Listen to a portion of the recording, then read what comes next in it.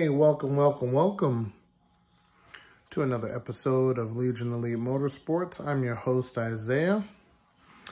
And today we're going to blow your mind with more Mirage goodies. So let's jump into it.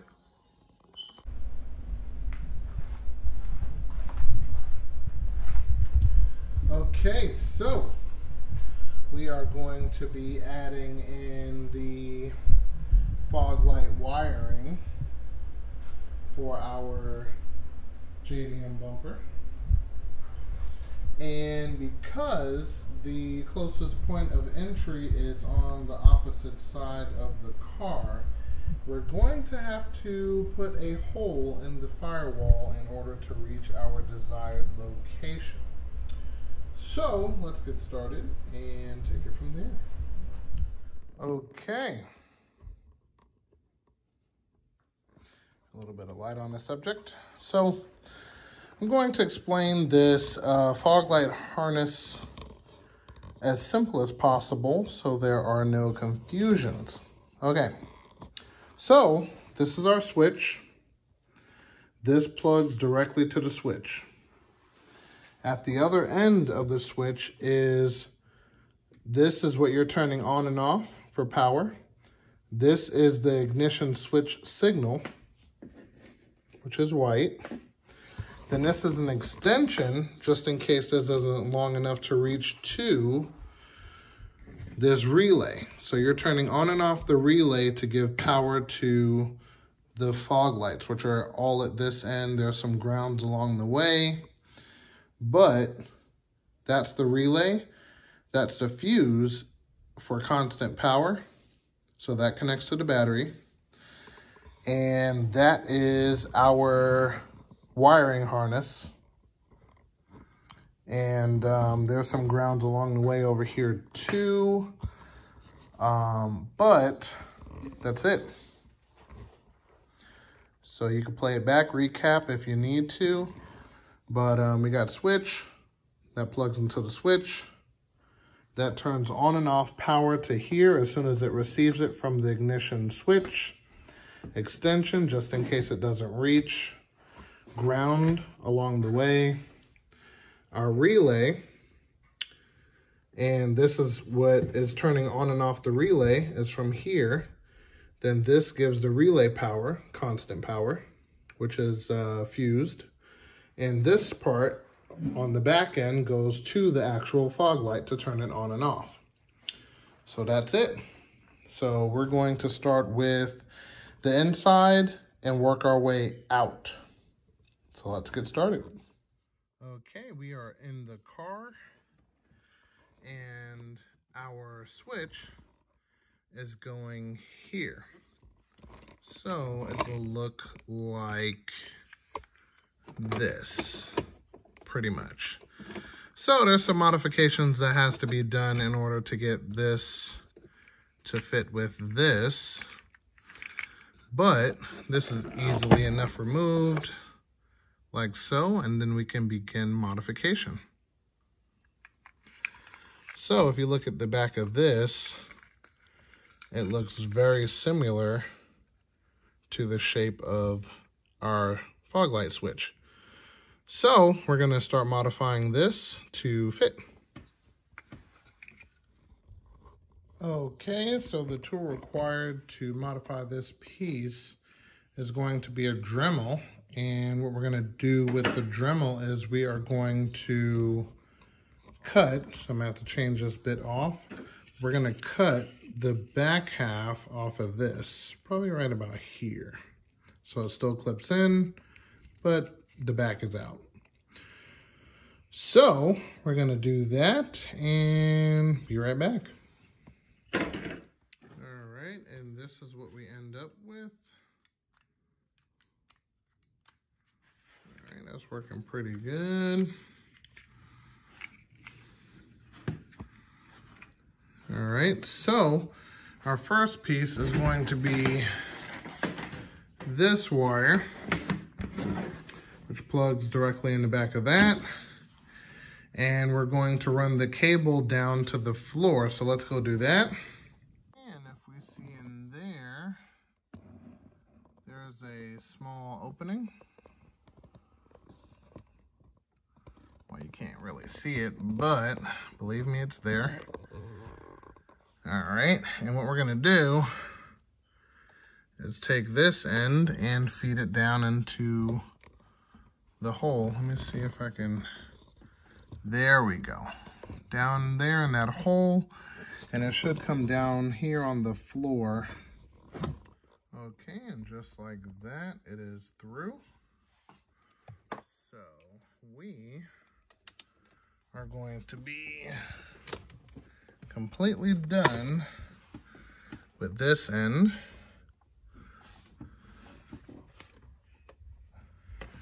Alrighty. So now we're ready for the switch.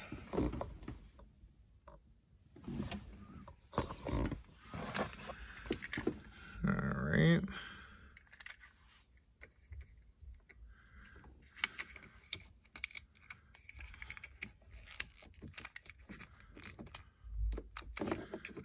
Alright.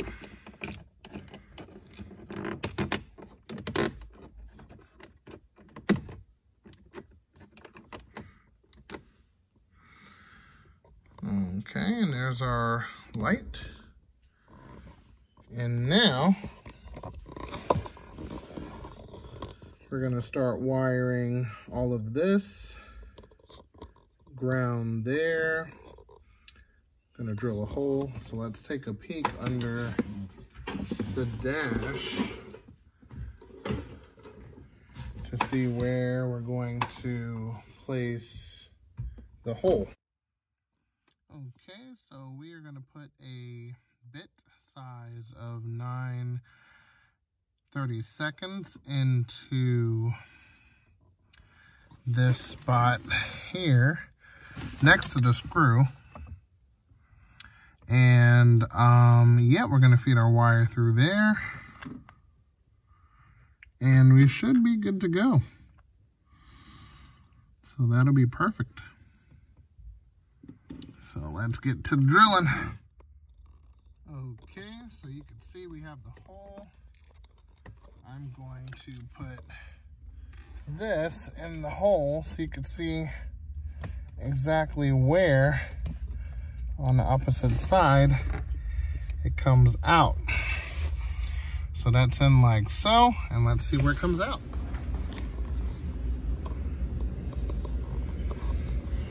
See, so that's nice and sleek. Not showing a whole bunch of wires going everywhere. That's perfect. So it can actually come through there, to the fuse box area with no problems. All right, so let's run that wire. All right, and I found my first ground off of these two bolts here. So that'll be my first ground for the switch.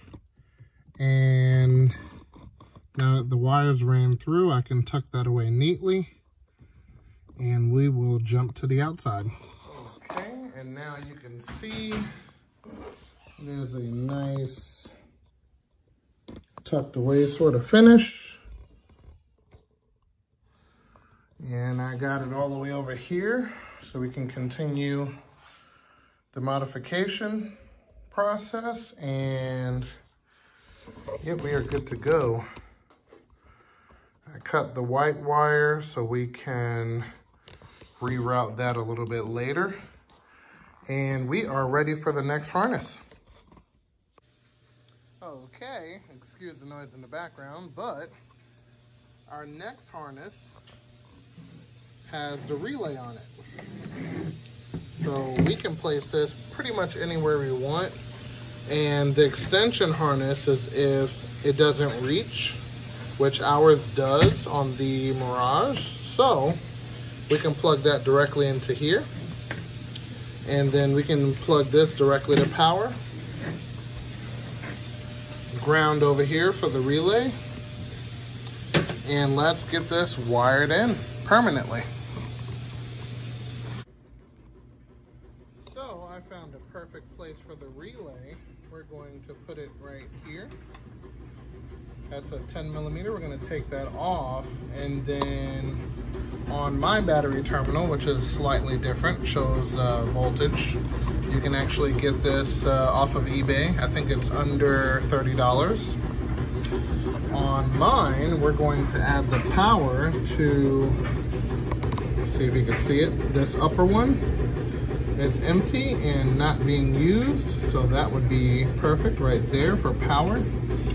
And ground is body, so that'll be easy to find and install. All right, and then this is where our wire ends up for the relay to turn it on and off. So that'll be an easy reach from here to there. Nothing needs to be extended. If anything, it may need to be shortened. So that's a good problem to have. So let's tie this stuff in and take it from there. Okay, so that's in there nice and clean. Got some light on the subject. Okay, so if you remember the short diagram I did, this white wire is the ignition switch. So basically, when this wire senses power, it allows you to use your fog lights. But what I'm gonna do is I'm gonna hook this straight to power along with the fuse. So I'll be able to turn on and off the fog lights whenever I want, whether the car is on or off, I'll be able to turn it on. So I personally prefer it that way. You could definitely hook that wire up to the ignition switch and only allow yourself to use the fog lights when the car is on or what have you. so uh, I'm going to wire this. You see our new mounting location. And I'm gonna wire the fuse both to the power. So I obviously don't need this much uh, wire, so we're gonna shorten this down and tuck it away nice and neat and connect both of these items to power. All right, let's do that. Alrighty, this one is soldered. Some light on it. Soldered and heat shrink. Let me zoom in. There we go. Solder in the middle. Heat shrink on both ends. Pretty decent product. Uh, yeah. Got that from Amazon. Excellent, excellent. Alright, so now we're about to put both wires into here. Now that it's all soldered as one. Okay, so now that that is connected, we want to test to make sure the button works. So we're gonna go on the inside and we're gonna turn down the light for a second. All right, so as of right now, when you push the button, it should illuminate.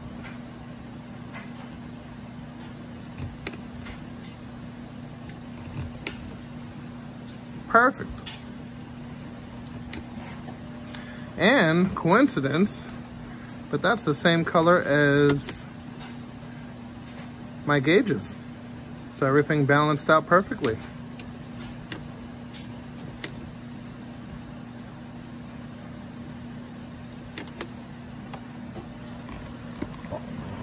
So next, you have to run this wire to each fog light, which is going to come out right around this area and same for this area. So let's slide the bumper over here and let's give it a test. Okay, so our fog light switch is on, right? We connected the wires to the bumper, right? But we have to connect the ground for the relay. So we're gonna just put it to body.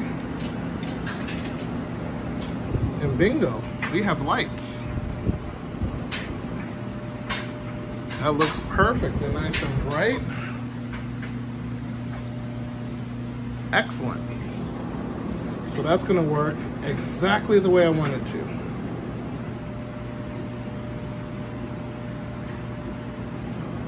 And possibly in the future, we could probably change the color, but we will get there shortly. So next, what we're gonna do is finish running our wire, and then we're gonna mount the bumper. All right, excuse the noise. It got a little hot in here, had to fire up the fan. But anyway, so we're shortening the wire and I figure what better ground circuit than the horn. So we're gonna slide this back here. It's a little, little 12 millimeter. And that part will be done. This side has enough length, so that's perfect right there.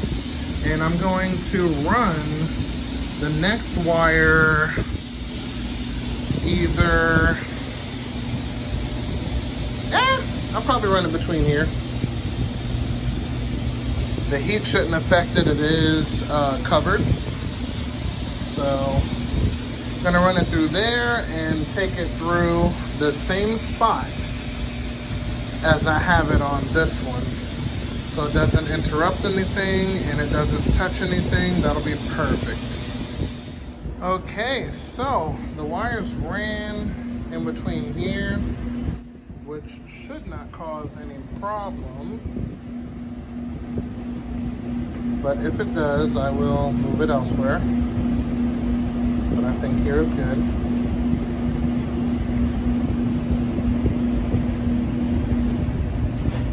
And um, yep, so after that, the fog lights are in their place. So now we're gonna start to assemble the front end before the bumper. Okay, so we got the headlights on and connected in the back. And we're gonna put the corner lights on as soon as we get on the bumper. So let me move this jack pole out of the way.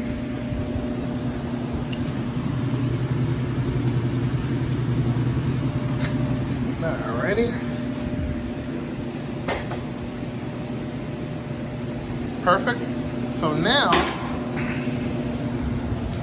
we're gonna slide the bumper on and for now it's gonna be without the uh, frame support until I uh, get something to remedy that, which I have something coming soon, not here yet, but coming. So yep, so let's mount this bumper and see what she looks like. All right, so she's coming together. She is wired in, looking good. Fog lights are on point. So next all I have to do is pop in the grill, corner light, get a screw for here. This is something I put together, a little extra security as far as reinforcement. And yes, it's coming together. It's looking like a car. Fog lights are working. Good, good. Yeah, look at that.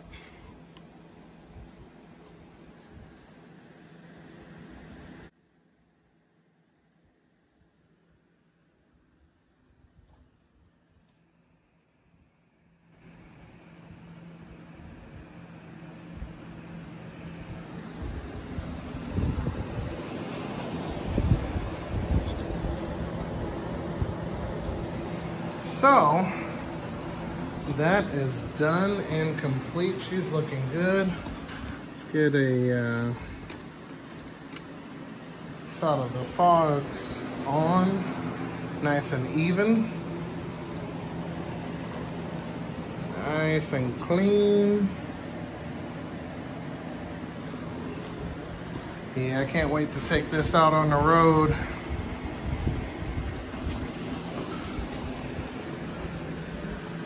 Yeah.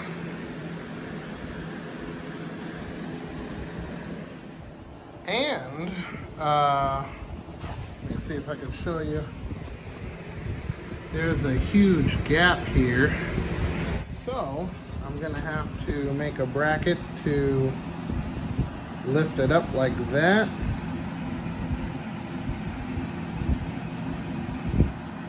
And that should do it. Which uh, should not be too much trouble because this bar in the center has uh, bolt holes. So what I'm gonna do is I'm gonna make a little uh, bracket to hold it up in place and that should be it. Should be nice and clean. Also, this um, wire for the fog lights, it's probably better to run it on the bottom uh, with the fog lights because it's actually pretty tight. Yeah, it's, it's pretty tight. So, um, might want to keep that in mind and I'll probably do something like that a little bit later. But uh, she is together, she's looking good. And we're gonna call it there. Hey, as always, I hope you guys enjoyed and found this uh, video informative in some way, shape, or form. Um, we are nearing the cusp of 400 subscribers. So I'm really excited about that. And I want to thank you guys for watching, viewing, and enjoying. Uh, we're definitely going to, um, we, as in me, uh, are going to bring you more episodes coming soon. Um, the Mirage is almost finished, at least finished for now. And we're going to jump on to some other things. But I do want to drop a hint for you guys. There's actually going to be a surprise build for 2020. And uh, it's going to be some all-wheel drive fun. So leave some comments down below if you know what it is or what you think it is. Um, it's Mitsubishi, uh, you know, not a four-cylinder. So I'll leave you guys with that, and I'll see you next time.